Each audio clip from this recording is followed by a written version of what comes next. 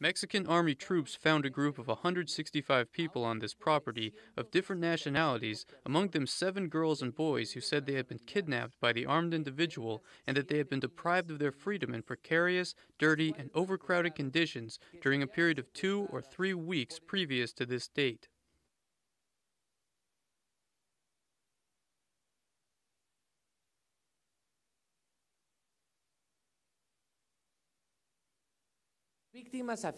The victims said that they had intended to cross over into the United States, but that they were held against their will while the suspected criminal groups contacted their families through telephone calls where they demanded various amounts of money, which were sent to their kidnappers. Everything indicates that these migrants were contacted by human traffickers, commonly known as coyotes, and these human traffickers, these criminals, handed them over to criminal gangs instead of taking them to the border.